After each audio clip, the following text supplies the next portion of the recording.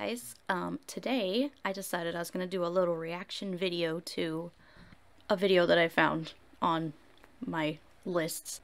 It's Christian who is going to talk about why he thinks Christians should not celebrate Halloween. I know that was a huge thing with me growing up is that I always was back and forth on that because my parents, you know, sometimes let me do Halloween, but a lot of my Halloweens were spent at church doing like a harvest festival and dressing up like good, nice characters, not vampires and demons and stuff, because in my house those things were real and we weren't allowed to actually do anything that would, I don't know, make us more prone to Satan's attacks or something like that. So, today we're going to look at a video called Why Christians Shouldn't Celebrate Halloween. And I don't know, I just thought it'd be fun to do a little reaction video to it because I had grown up in that and I know how that affects people growing up and how when you get older and you're an adult, it, your your mindset can change and I just thought it'd be fun to do. So if you want to come along with me on this ride and watch this video, uh, go right ahead.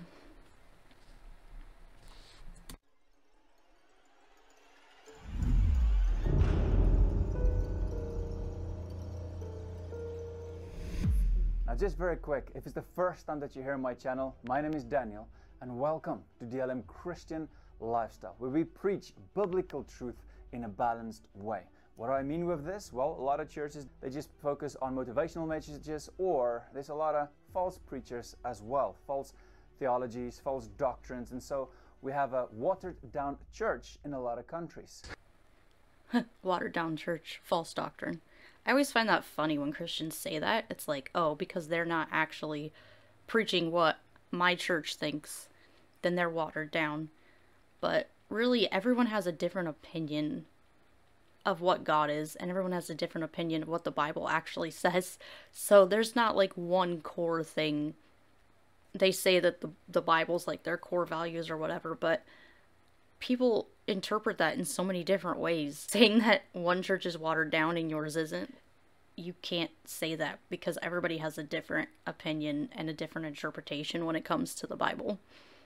I mean, if it was really God who sent the Bible down to us and gave us all these things, we wouldn't have this problem of Christians, certain Christians being watered down Christians because it would be straightforward and say, this is what you do, this is what you don't do, and there's no room for like people to interpret it in different ways, but that's just not how the Bible was written. I just find that interesting and kind of goes in that whole mentality of us versus them because I know when I was a Christian in the church, it was very much like Catholics aren't Christians, Mormons aren't Christians, even different sects of Christianity.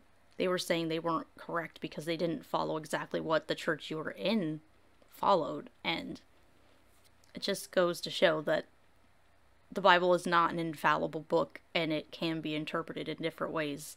And I don't think an all knowing, all loving God would make it so it's so confusing that Christians have so many different ideas about what God wants. But here, we're going back to the Bible.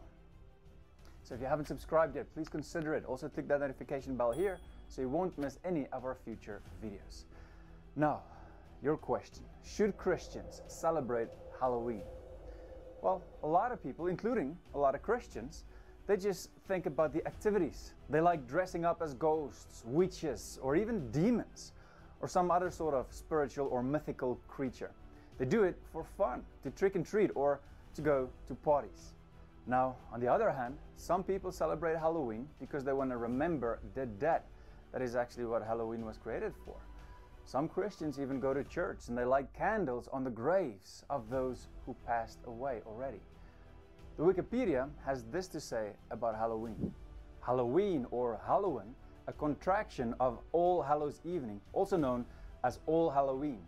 All Hallows Eve or All Saints Eve is a celebration observed in many countries on 31 October, the eve of the Western Christian feast of All Hallows it is interesting, too, to look at this and say certain Christians will say you can't celebrate Halloween because he's talking about how it's supposed to be like a remembrance of the dead and stuff. And you know, they do that in Mexico too with uh, the Day of the Dead and things like that, where you remember. And All Hallows Eve was supposed to be in remembrance of like the saints that went before. And Protestant Christianity is very against like saints or any of that stuff because they think that's worshiping a human being and making them an idol. Halloween to me is not celebrating the dead. It's just it's fun and it's just people dressing up and pretending to be things that don't actually exist. But when you look at the Christian perspective where they believe that these things actually exist, maybe not like vampires, but I mean, Christians actually believe. I grew up in a church where Christians believe that witches and magic and demons and things like that actually exist and actually can cause you harm.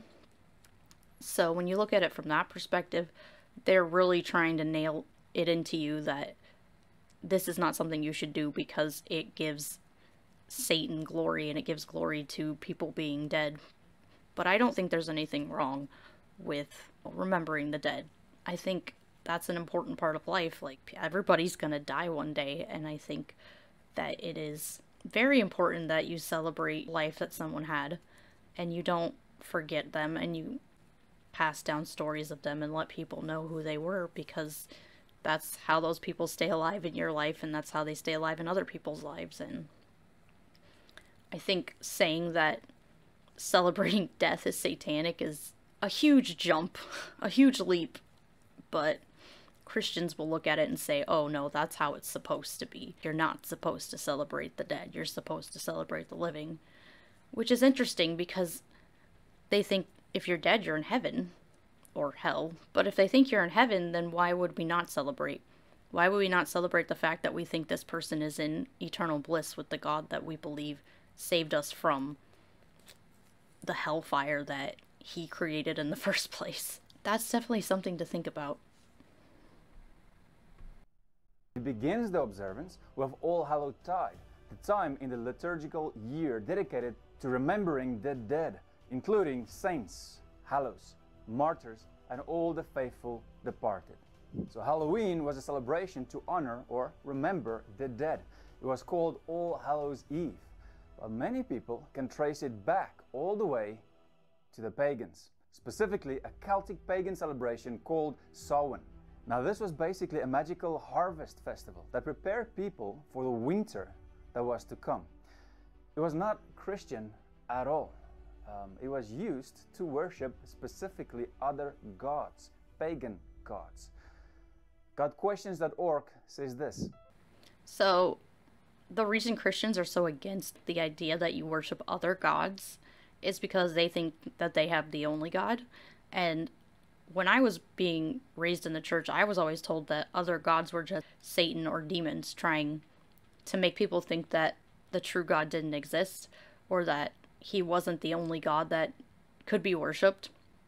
So basically, like they were turning other things into idols. It's just something that Christians don't want anything, they don't want a part of that because they think it opens doors to demons and to the fact that you could do something that could make you possessed or allow things into your house that you wouldn't want there. But now that I don't believe in demons and ghosts and things like that, it just kind of seems ridiculous to me. But I mean, we live in the 21st 21st century and there's still people who believe in superstitious things. People believe in ghosts still. People believe in demons. People believe that there is a literal heaven and hell. They believe that the earth was created in seven days with magic in a time when we have science and history and archaeology and all these things that can prove that what this book says isn't true, people are still going to cling on to it because they don't want to give up the idea that this might be the only life they have. And like I've said before in my other videos, I think that's a waste of time and it's a waste of your life, but I think we as humans want answers for everything and we're not always going to get those answers and that's really hard for us because we're people that are curious and we're always going to be seeking the answers that we want but that doesn't mean we're always going to get the answers that we want and i think that's the hardest part of letting go of religion and letting go of superstition because it gives us answers, even if those answers don't make any sense. People would rather have answers than have something that's gonna make sense. I think as long as we don't have those answers, people are always gonna cling on to something that can give them peace in those answers, even if the answers aren't great. You'd rather have an answer than not have an answer. Samhain, farmers brought livestock in from summer pastures and people gathered to build shelters for winter. The festival also had religious significance and people burned fruits, vegetables, grain and possibly animals as offerings to the gods. In ancient Celtic stories, Samhain was a magical time of transition when important battles were fought and fairies cast spells. It was a time when the barriers between the natural world and the supernatural were broken. The Celts believed that the dead could walk among the living at this time. During Samhain, the living could visit with the dead, who they believed held secrets of the future. Scholars believe that Halloween's association with ghosts, food, and fortune telling began with these pagan customs more than 2,000 years ago. Now remember, in the 800s after Christ, a lot of the pagans became Christians, but their customs still survived and they merged it with Christian holidays. Now listen carefully. The Catholic Church celebrated All Saints' Day on the 1st of November and All Souls' Day on the 2nd. But there was a problem. These days were too close to Samhain, so they didn't like it because, of course, Samhain was a festival for pagans, right? Celebrated other gods, not Jesus Christ, not God. So a lot of people believed what they did is they chose to merge it and call it Halloween. Now, of course, today there are also people who see Halloween as the day before All Saints' Day. So they remember who? Martin Luther and the Reformation. So they celebrate religious freedom. What you gotta understand about Halloween is it changed a lot over the years, and different cultures and different religions see Halloween differently.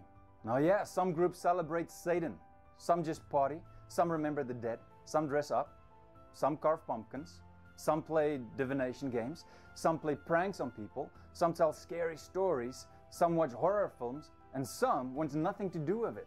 But the question remains should Christians celebrate Halloween? This is really interesting because, you know, he's listing all these things that people do on Halloween. And it's like, yeah, everyone's allowed to do what they want. Everyone should have that freedom to worship who they want, to do whatever festivities they want to do, and to just enjoy that time. And Christians are so against anything. I, I feel like sometimes Christians are against anything that like gives you joy. Like if you have joy in anything other than God, you're like, a horrible person and I guess being an American and understanding freedom as being able to do what you want within the bounds of like the law. You know, I don't see anything wrong with people who want to carve pumpkins. I don't see anything wrong with people who want to worship Satan. Although most Satanists today are not, they don't actually believe in Satan. That's a whole other thing that the church buys into is this idea that Satanists are people that actually believe Satan is real and they worship him where most of the Satanists I know are not like that. They are actually atheists. They just use Satan as kind of like a way to rebel against the church and show the church. It's almost like trolling the church because they know the church will freak out if it's if they have anything to do with Satan because Satan's the enemy of God. So they use that to troll the church and make people upset and angry and to show people that Christians aren't the only ones who are allowed to have freedom.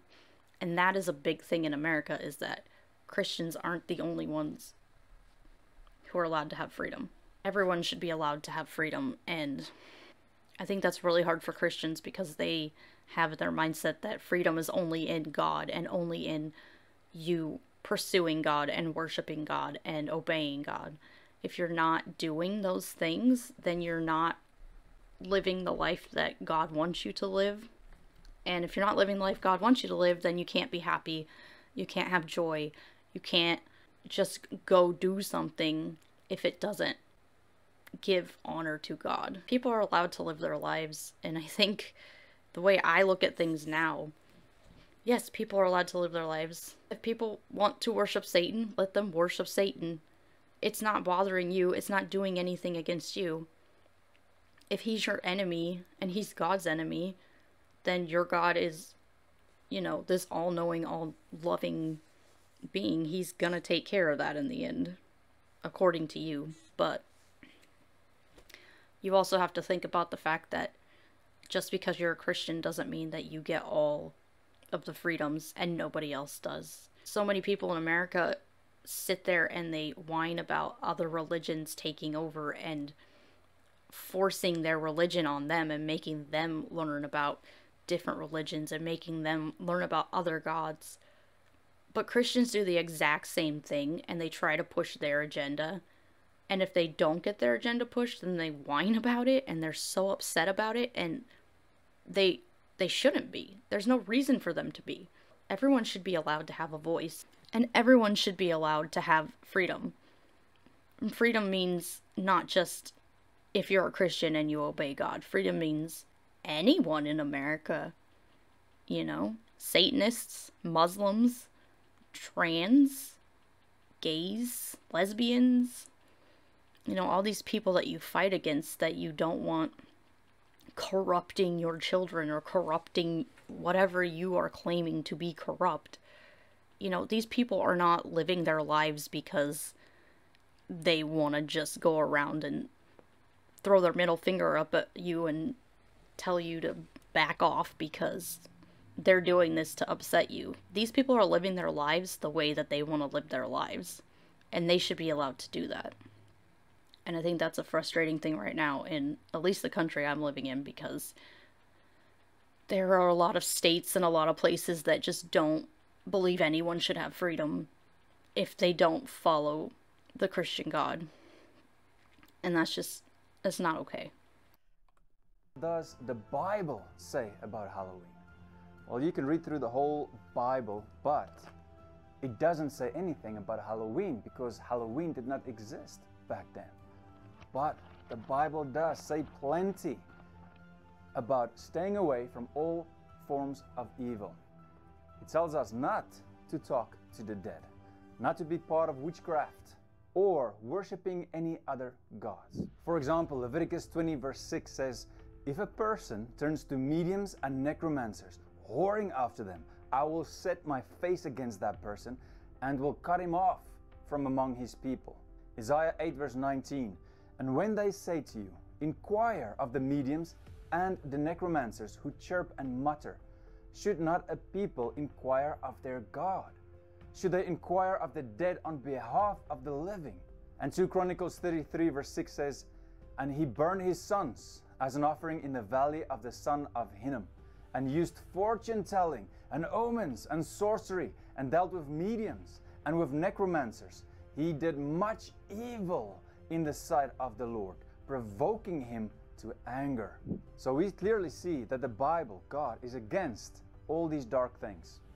Now, if you want to look at Halloween and you want to remember the day of Martin Luther, the Reformation, and you want to celebrate our freedom in Christ, then that is fine. But that does not mean that you're celebrating Halloween. You're just celebrating freedom in Christ.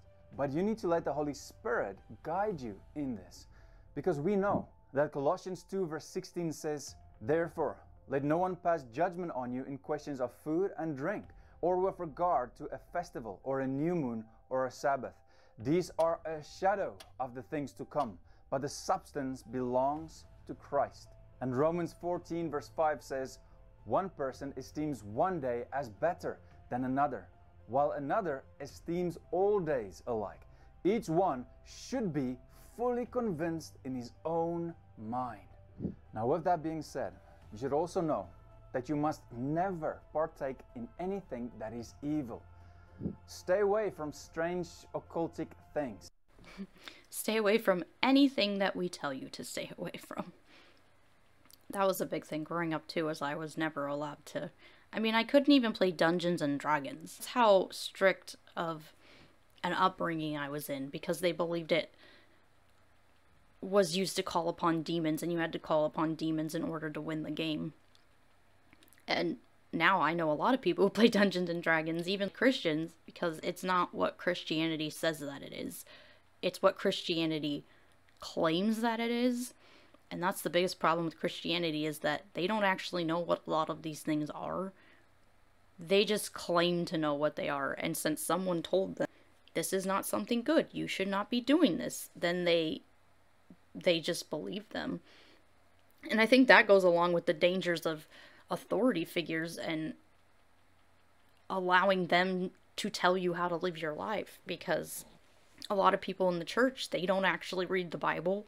They don't actually know what god has said about certain things. They don't know where the bible even came from. They are completely oblivious to anything that is not told to them in church. And honestly, I think being a pastor or a preacher can really put people into a dangerous situation because if that pastor or that preacher decides they want to use their power to manipulate people or whatever, like they're going to do that. And they will interpret the Bible the way that they see it and they will use that against people in their church. People in their church might not even know that it's happening to them, that they're being conned. And I'm not saying every pastor and preacher out there is a con artist. I, I mean, there are a lot of pastors and preachers who honestly were raised in this religion. They truly believe that what they were taught is the truth and that the Bible is the truth, and they're just doing their best. But at the same time, the interpretations that those pastors put out every Sunday of the Bible, they're not the Holy Spirit like they claim it is. It's very much their interpretation, it's their mindset. So, one pastor could preach the same chapter as a different pastor, and they can get two different interpretations of that. And that really can be damaging to people because it's not something from this all loving, all knowing, powerful God. This is literally an interpretation from the mind of a person and people mess up people have flaws. You don't know what's going on inside of other people's heads and you don't know why they're doing what they're doing and their desires and what they want from being a pastor or a preacher. So i think that is something that you really have to look into because that idea that you just listen to authority and believe authority and trust authority has really caused problems in the past, I think, for a lot of people and has led people down dangerous roads that they wouldn't have been put on if they had done their own research and they had made sure that what they were being told is true and what they believe actually lines up with reality. And I think in the church, that's just, those things aren't happening because they're not allowed to happen. You're not allowed to question authority. You're not allowed to question the Bible. You're not allowed to question God because He's the final authority. And if He says you can't do something, you can't do it. But there's no deep diving into that and saying, like, well, why does God say not to do this? Or why does the pastor say not to do this? It's that that deep thinking and that curiosity and that ability to have the critical thinking you need so that you don't get sucked into these ideas and just follow them blindly. They call us sheep in the church. You want to be a sheep, not a goat.